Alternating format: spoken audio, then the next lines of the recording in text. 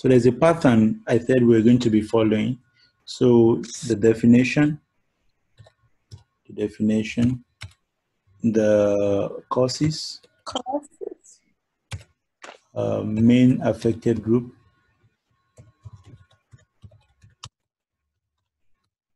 main affected group, focus of infection,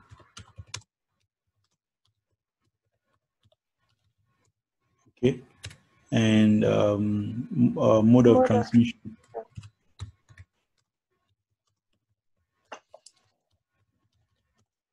And the last thing is what? Incubation. Incubation period.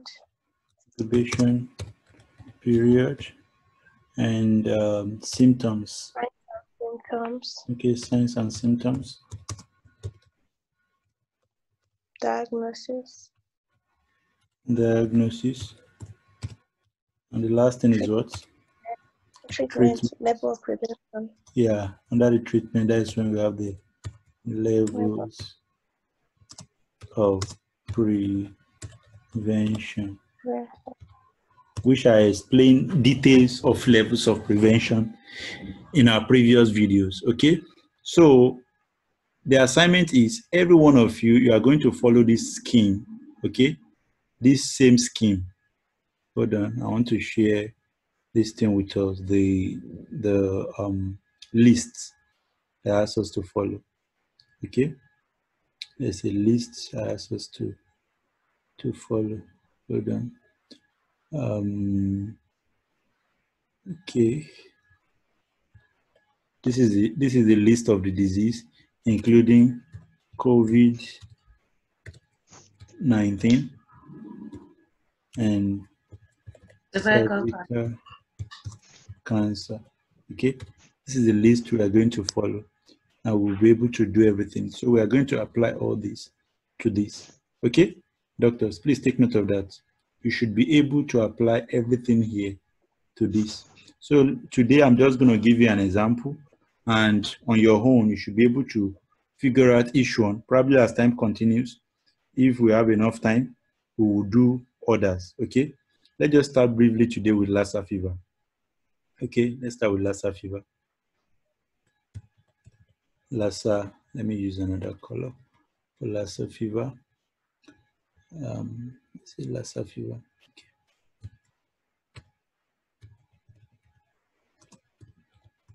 So, first, what is Lassa fever, doctors? I want to hear from us. Obviously, I know this is not the first time we are hearing the word Lassa fever, if I'm correct. Eh, doctors?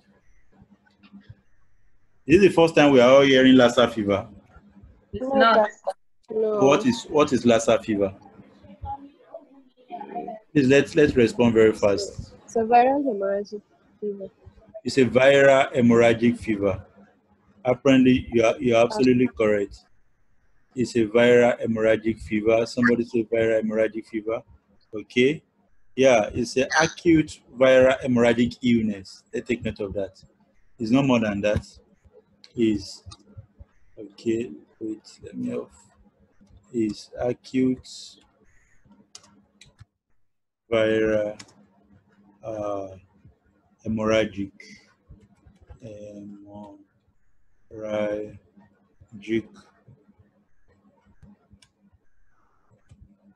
hemorrhagic illness.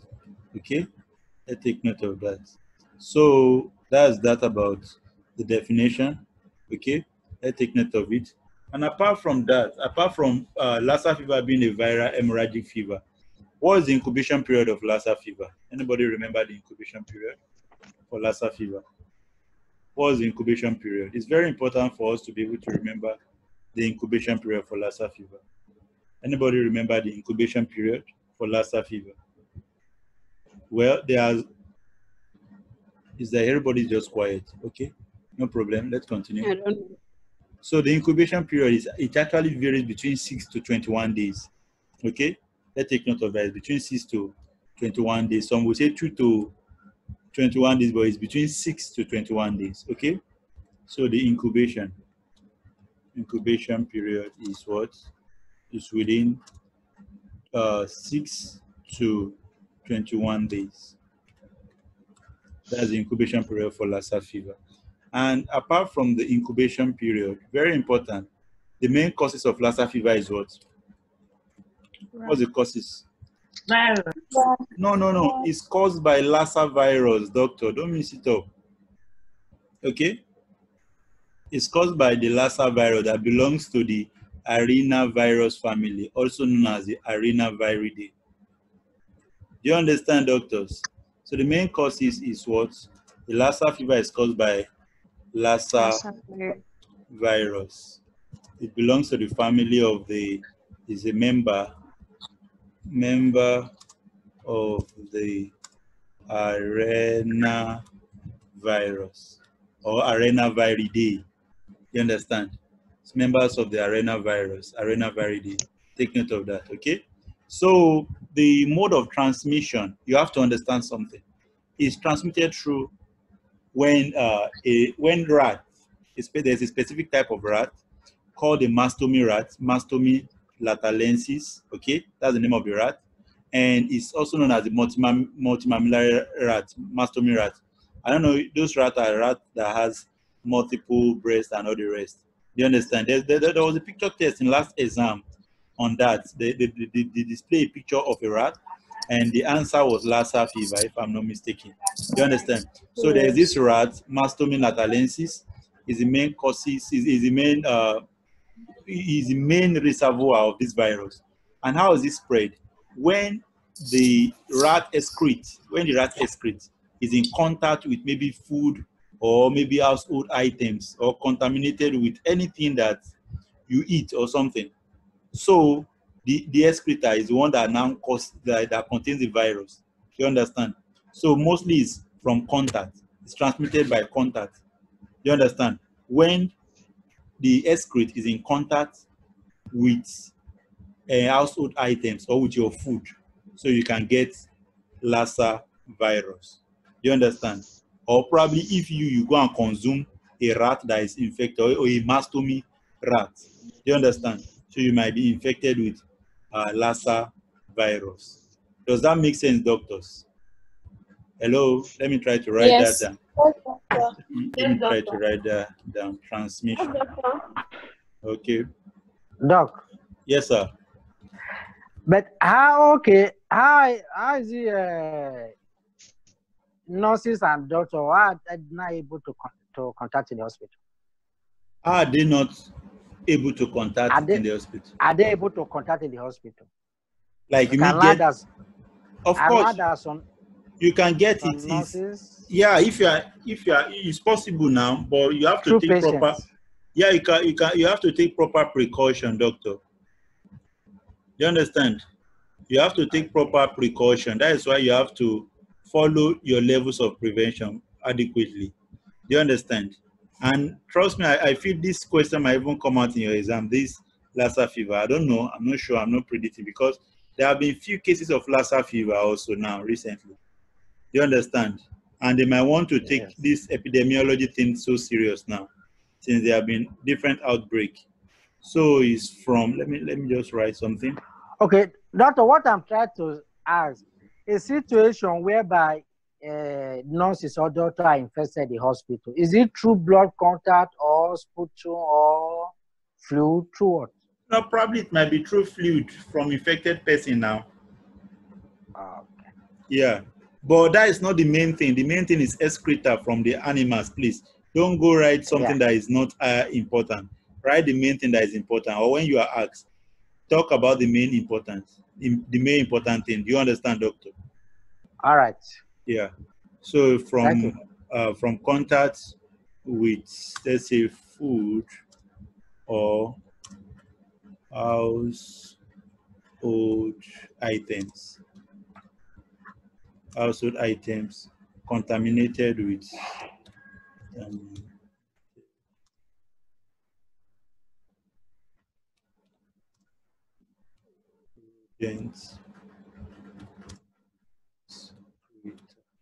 Okay, take note of this, mostly from rodent excretors. And the name of the rat is the mastomy rat. Mastomy, mastomy rat, also known as the mastomy natalensis, multimammate uh, rat, mastomy natalensis.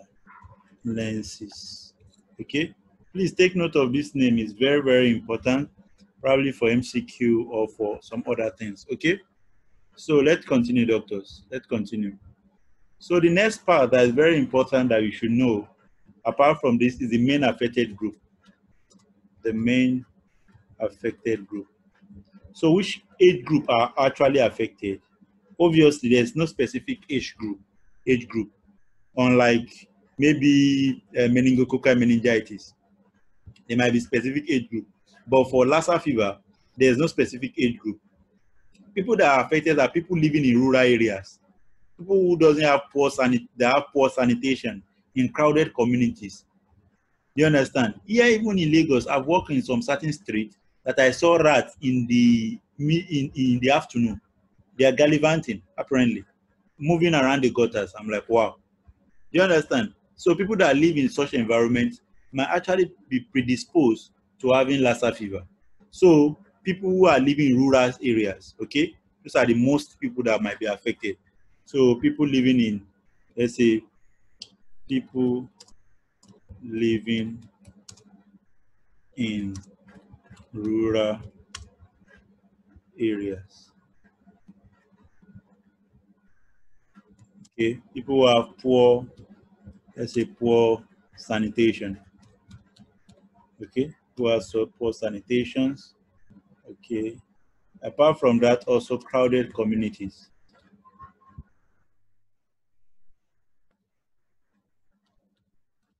People staying around a very crowded area. So they might, let me move this up. People stay in crowded communities might actually be also predisposed to having these ailments. Do you understand? Where is Dr. Gift? All right. I'm here, doctor. Okay. So let's continue, doctors. So apart from that, the next point is what? The focus of infection. The focus of infection is very important.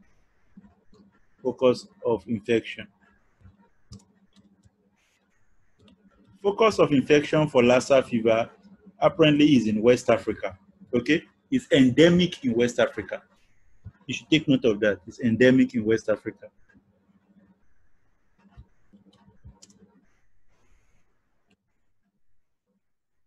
Including Nigeria is one of those countries in West Africa. So countries like Benin Republic also, Benin. Countries like Nigeria is also one of it. We have Lassa fever. Recently, I think there, there's a reported case in Bida, FMC Bida. Okay? Places like Mali. Mali. Places like uh, Dr. Gift, what's Yeah. going on? Hello? Hello? Is Dr. Gift here? Wait, is my network having issues? Hello? Hello? Hello? Hello, doctor. We can hear you. What's going on? Where is Dr. Gift? Hello? Kakkaban kunya irin. Okay. Say she can hear me. All right. Please, I I don't know. Dr. Gift went off because I want at least somebody to have the video on. It sound it looks as if I'm just talking, and probably I want to know if there's anything wrong, if there's problem with my network. Yeah. I was actually recording it before, but I paused because I was trying to ask about Dr. Gift, and everybody is quiet. It's all right. So for the treatment, no no vaccine for Lassa fever. I want you to know, but the major treatment is mostly of uh, prophylactic treatment, which you use is your antivirus therapy, uh, ribavirin. So ribavirin is what is used. Okay, ribavirin treatment include the use of ribavirin. Ribavirin. Okay, this is the antiviral drug that is being used. Okay, so now haven't you understand the concept of the treatment, the clinical diagnosis? The last part that I said we will talk about is what the levels of prevention. This is the, if you notice what I wrote here, there's levels of prevention. Okay, the levels of prevention is the last part. So now you should be able to apply levels of prevention to all these things. Is the dose important? It doesn't matter, you can include the dose, but obviously nobody will disturb your stress you overdose. They won't stress you overdose. There's always a guideline for those. You understand, Dr. B? Nobody will stress you overdose. Okay? Nobody will stress you over the dose. So if you know it, good. You understand? But it doesn't really matters. So uh, what, I, what was I saying? The next point that you should know is the levels of prevention. Please take note of that. Is the levels of prevention. It's very, very, very, very important for you to at least be able to say the levels of prevention. Why is this thing not showing the levels of prevention? All right. So please, at this point, do you have any question at this point? At this point? No. Okay. Everybody understand everything? Or do I need to glance or recap on everything we've done before we go to levels of prevention? And this one, this Okay. level of prevention, I will call anybody to do it. Doc, Yeah, yeah, Dr. Alex. for the fact that you, said it has no uh, specific reason, that means the treatment is just to treat the symptom, right? Yeah, in symptomatic treatment, and probably you're also doing the prevention. So you are doing ribav- ribavirin has actually been helpful. Has actually very been helpful. It's very good drug. You understand? Okay. For right, post-exposure prophylaxis and for the treatment. It has been a very good drug. All right, doctor. So a quick recap on what we've done. Yeah. So I said for your for these are the list of the and of the infectious or the so-called levels of prevention we'll be doing. Lassa, white polio, meningococci, cholera, hepatitis, monkeypox, yellow, Ebola, chickenpox, measles, HIV, AIDS, TB, malaria, COVID-19. So, and I said you have to follow this pattern. You come with the definition, the causes, the main affected group, the focus of infection, the mode of transmission, incubation period, signs and symptoms, diagnosis, and the last part, I don't know, it went off, is the levels of prevention, which I have explained the levels of prevention before earlier on. The five levels of prevention. I'm going to share the video of that with us. The five main levels of prevention that is further divided into primary, secondary, and tertiary, which I explained. And we are now applying this whole scheme. We are starting with the number one here, Lassa fever. And I gave the definition as an acute hemorrhagic illness and with an incubation period of 6 to 21 days. And it's mostly caused by Lassa virus, members of the arenaviridae family or arena, arenavirus. You understand? And transmission is through contact with excrete of animals, maybe the, the, the, the rat excrete is on the food you want to eat. If you go and eat such food, you might be infected. Or maybe, uh, and the name of the rat that mostly causes the mastomy rat, the multimammillary rat, Mastomy natalensis. Okay? And the affected people are people living in rural areas, people that burn bush. When you burn bush, what happens to the rat? The rat comes out, comes to your house. Do you understand? People living in crowded community, places that is nowhere sanitized. For example, in some street in Lagos, you go to Ajegunle, in some gutter, you see uh, rat all around. Do you understand? In broad daylight, doctors, in broad daylight. Do you understand? So focus on infection. This disease is actually endemic in West Africa, in places like Benin Republic, Nigeria, Mali, Ghana, Sierra Leone, uh, Liberia, and so on. You all know African, West African countries, okay? And the signs and symptoms is very tricky, which I explained. The signs and symptoms, there's early manifestations, there's late manifestations, and the early onset, it's also always present with fever and generalized weakness. And after a few days, that's when you notice headache, sore throat, vomiting, diarrhea, abdominal pain, chest pain. Very vague symptoms. You might apparently think this is malaria. Apparently, it's not. Do you understand? So it's very important for you to be able to differentiate this from malaria. And in severe cases, that's when you start seeing swelling of the face, bleeding from orifices, from the mouth, nose, vagina, and all the rest. From the hair, from the eyes, you see uh, all this um, blood on the cornea and everything. You understand? Then the patient might experience the signs of shock because it's losing blood, low BP, and all the rest. Seizure, tremor. You understand? These are the things the patient will present to. And we talk about the clinical diagnosis. The diagnosis is the other part, and the diagnosis is clinical. The signs and symptoms is obvious, but that is not a definitive diagnosis. The definitive diagnosis is lab by using your reverse transcriptase polymerase chain reaction assay. You understand? ELISA to check for the antibodies. And you do antigen detection test. Any of them, you can use it. Then virus isolation by culture.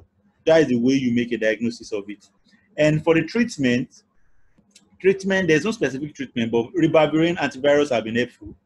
Okay? So also it's also used for post-exposure prophylaxis. Okay, there's no vaccine for Lassa virus.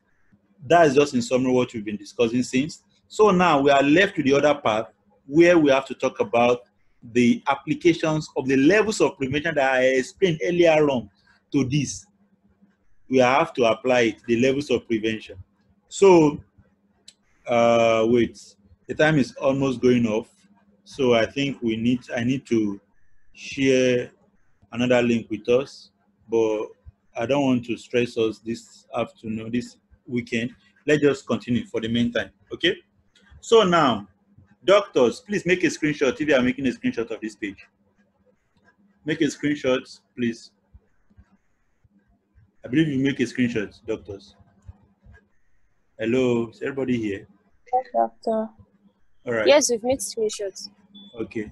So, Dr. Aisha, can Dr. Aisha hear Yes. Dr. Yes, Aisha, can hear you. this is going to be something we are going to do together. I will call anybody. I've we've done the first part. Dr. Aisha, please can you apply? Please, Dr. Aisha, can you tell the, the levels of prevention? Can you tell me the levels of prevention? Please, if you are the one making a noise, please mute yourself. Who is that person making noise there? It's a noise. All right. I think it's from my side. Ah, Dr. Aisha. All right. But Yes. please mention the five levels of prevention. Okay, um, number one, there is a general health promotion, Mhm, um, specific prophylaxis, mhm, early diagnosis and treatment, mhm. um, limiting disability, and then rehabilitation. Well done. Thank you, Dr. Aisha. All right. So, Dr. Dr. Helen, can Dr. Helen hear me? Can Dr. Is Dr. Helen here? Okay, Dr. Helen is not here. Dr. Favor. Dr. Favor, Yes. please can you apply the first levels of preventions to Lassa fever? All right. Um, the first level of prevention is general education and promotion. So my target population there is going to be for the um, healthy individuals. My objective is to prevent onset of diseases, and my means is through flyers, TV, um, newspaper, town criers, and my method um, here is going to be educating them about Lassa fever. The Lassa fever is an acute viral hemorrhagic um, illness, and which usually the incubation period is about six to 21 days, and usually caused by the multimammate rat, which is known as the Mastomy natalensis, usually transmitted from through food, um, through food contact, um, from this multimammate through their fluid, through the blood contact with them. So I, I will endeavor them to have um, to make sure that the environment is clean. They should make sure that um, they should make sure that the environment is clean. They should make sure that they cover their food and grains properly. Well done. Well done, Dr. Favor. Well done. That's very good. That's very good. Only the, the distance is far. I should have gotten you one shawarma, but it's all right. Let's continue. No, you can still send it. Uh, You said I said you can still send it. the distance, Dr. Favor. The distance is far. all right. Dr. Mice. Can Dr. Mice hear me? Yes, I can hear you. Dr. Mice, please, can you, do you can you tell us the second levels of prevention and apply it to Lassa fever, please? Oh, I just joined now. I didn't know of the class, so like I've not been following. Ah, you've not been following Oh. since. Yeah, I just joined now. Okay, so wow. All right. So, uh, Dr. Helen, can Dr. Helen hear me? What is wrong? Dr. Helen, um, this thing has been on mute. Dr. Helen, can you hear me? All right.